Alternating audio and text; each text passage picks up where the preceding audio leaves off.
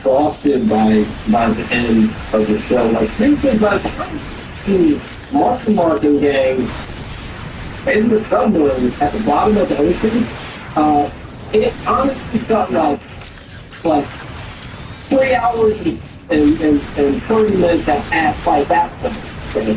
I, I would go to really get out beers the mother like like four Welcome to Earth.